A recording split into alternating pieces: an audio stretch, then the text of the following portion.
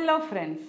ഇന്ന് മിക്ക യുവതി യുവാക്കളും നേരിടുന്ന വലിയൊരു പ്രശ്നമാണ് യൂറിക് ആസിഡ് അഥവാ ഗൗട്ട് പണ്ടൊക്കെ കുറച്ച് പ്രായം ചെന്ന ആൾക്കാരിലാണ് സന്ധിവേദനയും നീർക്കെട്ടും എല്ലാം കണ്ടിരുന്നത്. പക്ഷേ ഇന്ന് അങ്ങനെയല്ല ചെറുപ്പക്കാർ വരെ ക്ലിനിക്കിൽ വരുമ്പോൾ സന്ധിവേദന നീർക്കെട്ട് അവിടെ തടിപ്പ് എന്നിങ്ങനെ പല അസുഖങ്ങളായിട്ടാണ് ക്ലിനിക്കിൽ വരുന്നത്.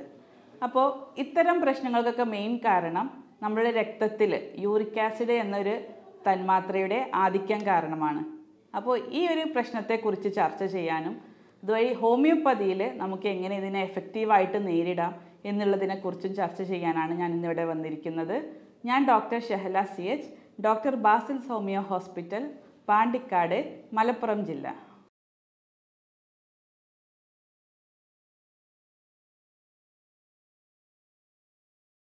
എന്താണ് യൂറിക് ആസിഡ്? നമുക്കറിയാം നമ്മുടെ ശരീരത്തിൽ കുറേ തന്മാത്രകളുണ്ട്. അതിലൊരു തന്മാത്രയാണ് പ്രോട്ടീൻ തന്മാത്ര. ഈ പ്രോട്ടീൻ തന്മാത്രകളുടെ വിഘടന ഫലമായി ഉണ്ടാകുന്ന ഒരു വേസ്റ്റ് പ്രൊഡക്റ്റ് മാത്രമാണ് ഈ യൂറിക് ആസിഡ് എന്ന് പറയുന്നത്. അപ്പോൾ ഈ യൂറിക് ആസിഡ് നോർമലി രക്തത്തിൽ ഉണ്ടായിക്കഴിഞ്ഞാൽ കിഡ്നിയിലൂടെ ഫിൽട്ടർ ചെയ്തിട്ട് അത് യൂറിനിലൂടെ പുറന്തള്ളപ്പെടുന്നുണ്ട്. പക്ഷേ എപ്പോഴാണോ നമ്മുടെ ബോഡിയിൽ കൂടുതലായിട്ട് ഈ യൂറിക് ആസിഡിന്റെ പ്രൊഡക്ഷൻ ഉണ്ടാവുന്നത്. അത് പോയിട്ട് നമ്മുടെ ജോയിൻസിലൊക്കെ ഡെപ്പോസിറ്റ് ചെയ്തിട്ടാണ് ഈ ഇൻഫ്ലമേഷൻ അതായത് നീർക്കെട്ടും വേദനകളൊക്കെ ഉണ്ടാകുന്നത് ഈ ഒരു കണ്ടീഷനെയാണ് നമ്മൾ യൂറിക് ആസിഡ് അഥവാ ഗൗട്ട് എന്ന് പറയുന്നത്. ഇനി എങ്ങനെയാണ് നമ്മൾ യൂറിക് ആസിഡ് അഥവാ ഗൗട്ട് എന്നൊരു കണ്ടീഷൻ ഉണ്ടാവാൻ കാരണങ്ങൾ എന്തൊക്കെയാണെന്ന് നോക്കാം. അതിൽ ഒന്നാമത്തെ കാരണമാണ് നമ്മുടെ ഫാമിലി ഹിസ്റ്ററി നമ്മളെ വീട്ടിൽ ഒരു അച്ഛനും അമ്മയ്ക്കും ഒക്കെ യൂറിക് ആസിഡിന്റെ ഹിസ്റ്ററി ഉണ്ടെങ്കിൽ അവരുടെ മക്കൾക്കും ഇതുപോലെ ടെൻഡൻസി വരാനുള്ള ചാൻസ് വളരെ കൂടുതലാണ്. പിന്നെ രണ്ടാമത്തേത് മെയിൽസിൽ അത് ആണുങ്ങളുടെ കേസിൽ ഈ യൂറിക് ആസിഡിന്റെ ടെൻഡൻസി വളരെ കൂടുതലാണ്.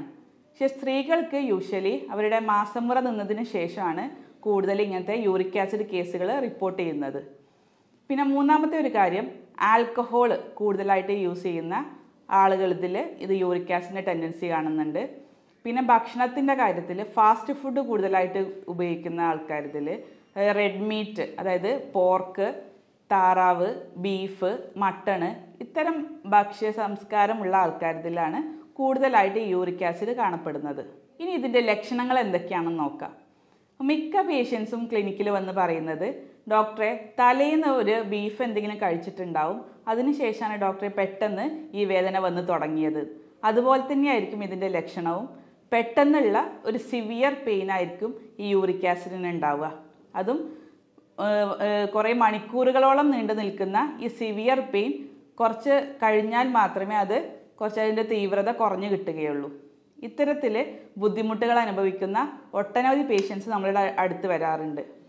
അപ്പോൾ ചില ആൾക്കാർക്ക് സിംറ്റംസ് ഒന്നും ഉണ്ടാവില്ല. പക്ഷെ അവരെ ബ്ലഡ് ടെസ്റ്റ് ചെയ്ത് നോക്കിയാൽ യൂറിക് ആസിഡിന്റെ ലെവൽ വളരെ കൂടുതലായിരിക്കും. അപ്പോൾ അങ്ങനത്തെ ആൾക്കാർക്ക് വലിയ പ്രശ്നമല്ല പക്ഷെ അവർ യൂറിക് ആസിഡ് കുറയാനുള്ള ട്രീറ്റ്മെന്റ് അവർ സാവധാനം എടുക്കേണ്ടതുണ്ട്. പക്ഷെ മറ്റു ചിലർക്ക് അങ്ങനെയല്ല. സിവിയർ ആയിട്ടുള്ള പെയിൻ ആയിരിക്കും ഉണ്ടാവുക. അതിന്റെ കൂടെ ബ്ലഡിലും യൂറിക് ആസിഡിന്റെ ലെവൽ വളരെ ഹൈ ആയിരിക്കും. അത്തരം ആൾക്കാർ ഒരു ഡോക്ടറെ കണ്ട് ഉടനടി ഒരു നല്ലൊരു ട്രീറ്റ്മെന്റ് ചൂസ് ചെയ്യേണ്ടതാണ്. ഇനി എങ്ങനെയൊക്കെയാണ് ഇതിനെ നമുക്ക് വീട്ടിൽ വെച്ചിട്ട് എങ്ങനെയൊക്കെ ഈ യൂറിക് ആസിഡിനെ കൺട്രോൾ ചെയ്യാൻ നോക്കാം? ഇപ്പോൾ വീട്ടിൽ വെച്ചിട്ട് നമുക്ക് ചെയ്യാവുന്ന ചില പൊടിക്കൈകളാണ് ഞാൻ പറയാൻ പോകുന്നത്. അതിൽ ഏറ്റവും ഇമ്പോർട്ടന്റ് ആയിട്ടുള്ള ഒരു ഒറ്റമൂലിയാണ് ആപ്പിൾ സിഡർ വിനേഗർ. ഈ ആപ്പിൾ സിഡർ വിനേഗറിന്റെ ഒരു ടീസ്പൂൺ എടുത്തിട്ട് അതൊരു ഒരു ഗ്ലാസ് വെള്ളത്തിൽ ലയിപ്പിച്ചിട്ട് അത് ഡെയിലി ഡെയിലി ഒരു ദിവസം കുടിക്കുന്നത് ഈ യൂറിക് ആസിഡ് ബ്ലഡിൽ നിന്നും അകറ്റാൻ വളരെ നല്ലതാണ്. രണ്ടാമത്തതാണ് ഒലീവ് ഓയിൽ. സാധാ ഓയിലിന് പകരം നമ്മൾ ഒലീവ് ഓയിൽ യൂസ് ചെയ്യുക. അതും യൂറിക് ആസിഡ് കുറയാനുള്ള നല്ലൊരു ഒറ്റമൂലിയാണ്. പിന്നെ നമ്മൾ ഭക്ഷണത്തിൽ ശ്രദ്ധിക്കേണ്ടത് റെഡ് മീറ്റുകൾ പരമാവധി ഒഴിവാക്കുക. അതായത് മട്ടണും ബീഫൊക്കെ പരമാവധി ഒഴിവാക്കുക. അതിന് പകരം നമ്മൾ പച്ചക്കറികളും ഫ്രൂട്ട്സും കൂടുതലായിട്ട് ഉൾപ്പെടുത്തുക. അതിൽ ഫ്രൂട്ട്സിൽ തന്നെ വൈറ്റമിൻ സി റിച്ച് ആയിട്ടുള്ള ഒരു പുളിരസമുള്ള ഫ്രൂട്ട്സ് അതായത് ഓറഞ്ച് മുന്തിരി മുസമ്പി നാരങ്ങ തുടങ്ങിയിട്ടുള്ള പുളിരസമുള്ള ഫ്രൂട്ട്സ് കൂടുതൽ ഭക്ഷണത്തിൽ ഉൾപ്പെടുത്തുക. പിന്നെ പച്ചക്കറികളാണെങ്കിലും മുരിങ്ങ ചീര കുറച്ചിട്ട് മുരിങ്ങ ചീര അങ്ങനത്തെ ഇലക്കറികൾ കുറച്ചിട്ട് ബാക്കിയുള്ള പച്ചക്കറികൾ കൂടുതലായിട്ട് കഴിക്കുക. പിന്നെ വെള്ളം ഇതിൽ ഇമ്പോർട്ടന്റ് ആയിട്ടുള്ളൊരു കാര്യമാണ്. അതായത് ദിവസം ഒരു മൂന്ന് മൂന്നര ലിറ്ററെങ്കിലും വെള്ളം ഡെയിലി കുടിക്കുക. ഇത് യൂറിക് ആസിഡിനെ നമ്മളെ മൂത്രത്തിലൂടെ പുറന്തള്ളാൻ ഇത് വളരെയധികം സഹായിക്കുന്നതാണ്. ഇനി ഇത്രയൊക്കെ ചെയ്തിട്ടും ഈ യൂറിക് ആസിഡ് കുറയുന്നില്ലെങ്കിൽ നമ്മൾ നല്ലൊരു ട്രീറ്റ്മെന്റ് തന്നെ ചൂസ് ചെയ്തിട്ട് അത് ഉടനടി ഒരു പരിഹാരം തേടണം. അതിന് ഹോമിയോപ്പതിയിൽ ഞങ്ങൾ നല്ല എഫക്റ്റീവായിട്ടുള്ള ഒരു ട്രീറ്റ്മെന്റ് പ്രൊവൈഡ് ചെയ്യുന്നുണ്ട്.